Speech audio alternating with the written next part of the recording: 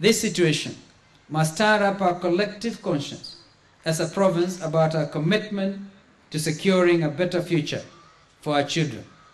I believe we do not have to in- reinvent the wheel to redress this situation. Indeed, no miracles at all. All we have to do is do what you expected to do, but with renewed vigor, commitment, and enthusiasm.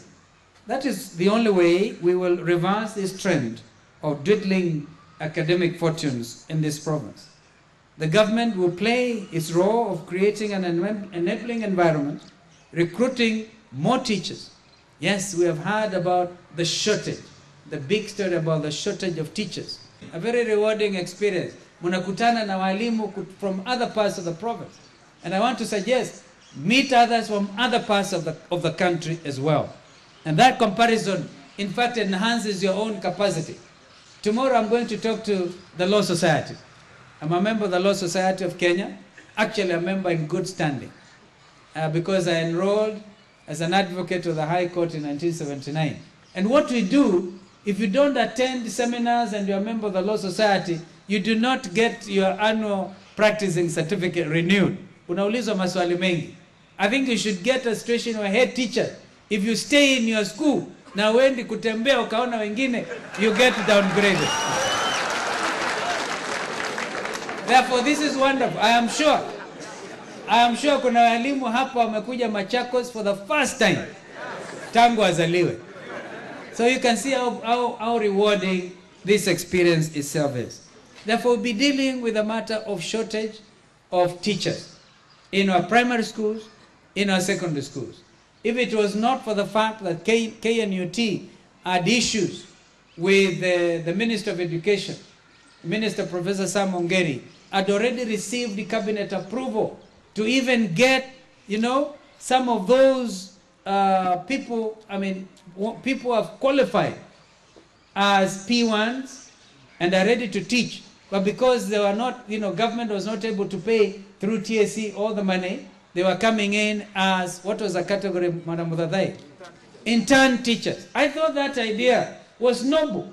Lakini KNUT, I think they went to court, mambo yote yakasimamishwa. Now see our children are suffering because the end result is that child who gets below 250 marks na aendi shuleni, aendi form 1, transition race to secondary school inaumia and watoto wenyewe wanapata tabu. Therefore, I think we need to think more clearly. As head teachers, you are the chief managers of your schools. You have teachers working below you. And therefore, I think you need to be able to even learn management techniques. Because I'm sure if you relate properly to your teachers, the school, that school definitely will do better. But if you are quarreling your head, your teachers, your assistant teachers, you cannot work with them, unataka wawe demoted ama wasilipwe ama vitu kama hivyo, they also undermine you as the head teacher. I'm sure these survival tactics you'll have heard from uh, some of the people who spoke to you. Uh, suffice it to say that we have challenges within the education sector.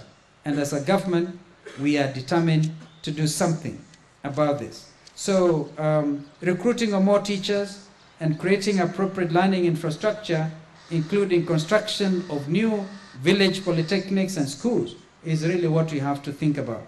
The rest is up to you as school managers. In this regard, I'm pleased to note that this conference has resolved to conduct educational workshops mapped out along six regions within the province. This is commendable, and I certainly uh, know that it also has budgetary implications. So we will need to work together as a team. Uh, I therefore also want to appeal to other well-wishers, stakeholders, alumni of uh, this fraternity and leaders, as well as constituency development committees to support this worthy cause of those workshops so that our teachers can interact and improve themselves. Teachers were very smart.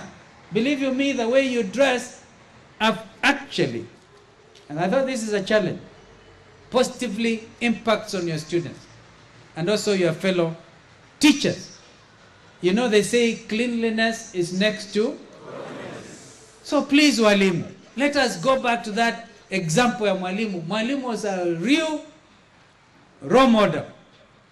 I think we have a lot of us have stopped being role models.